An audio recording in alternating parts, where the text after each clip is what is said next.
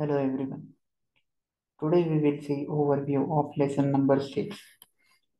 So in lesson number 6 we will see what is sensors and their examples as well as we will see what is actuators and their examples.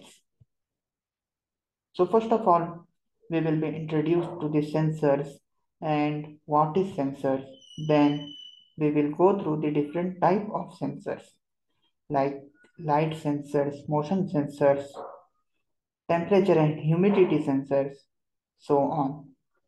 Then we will see what is actuators, their types and the examples. So that's it for today. Bye.